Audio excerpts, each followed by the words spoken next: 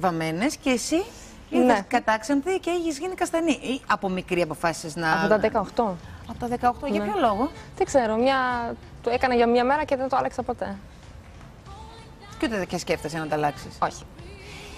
Πώς σκέφτηκε αυτό που ακούσαμε κι εμείς πέρσι και ε, μείναμε, ότι αποφάσισες, ας πούμε, να βαφτιστείς Ορθόδοξη Χριστιανή και να πάρεις το όνομα Μαρία Νεφέλη. Αυτό τώρα ήταν δικιά σου απόφαση. Ναι, το θέλω πάρα πολύ. Πες μου γιατί. Πολλά χρόνια. Είμαι πολλά χρόνια εδώ. Γιορτάζω Πάσχα εδώ, Χριστούγεννα και νιώθω σπίτι και κοντά στο Θεό στην Ελληνική Εκκλησία. Και πριν, αλλά το ήθελα. Είτε- Είναι στην, αυ- στην ταυτότητα του Έλληνα. Και το ήθελα πάρα πολύ. Κάτσε ρε παιδί μου, εσύ όμως η ταυτότητά στο διαβατήριό σου είναι ξένο. Ναι, Δεν είσαι Ελληνίδα. ναι. Αλλά αυτό είναι ένα ήθελες να μπεις χαρτί. μέσα σε είναι αυτό; στη ψυχή μας. Η πίστη είναι στη ψυχή μας. Όταν το ανακοίνωσες στους φίλους σου, στις παρέες σου, δεν ξέρω, στους δικούς σου ανθρώπους, τι σου είπανε; Τα χάσανε; Ότι, όχι. Χαίρονται πάρα πολύ. Γιατί είναι κάτι που είναι, ή- ήταν δική μου απόφαση που το σκέφτηκα πάρα πολύ καλά. Διάβασα και πάρα πολύ αυτό. Δεν ήθελα να το κάνω έτσι. Το διάβασα γι' αυτό. Ε, μίλησα με τον παπά γι' αυτό πάρα πολύ. Και χαρήκανα πάρα πολύ.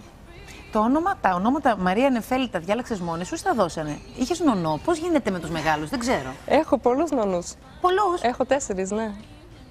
Τέτοια ήταν κοπελάρα μια- να τη βάφτιζε. Ένας δεν έφτανε. Ναι, ή θα γίνουν μια οικογένεια αυτοί οι τέσσερις. Γι' αυτό το...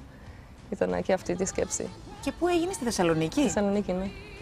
Έγινε αμέσως γνωστό. Εμείς το μάθαμε μετά. Όταν πια γράφτηκε στα περιοδικά. Δηλαδή, Κάποιος εκείνη Ναι. το την έγραψε ημέρα- και πριν.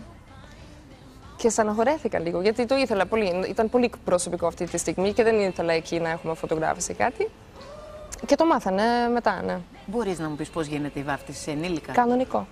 Τι, Όπως σαν μπήκες σε μωρό, κολυμπήθρα; πήγες σε κολυμπήθρα, με σήκωσε ο παπάς τρεις φορές. Ο παπάς κατάφερε να σε σηκώσει εσένα όρθια. Ναι, μετά είχε λίγο πρόβλημα με μιλήσια.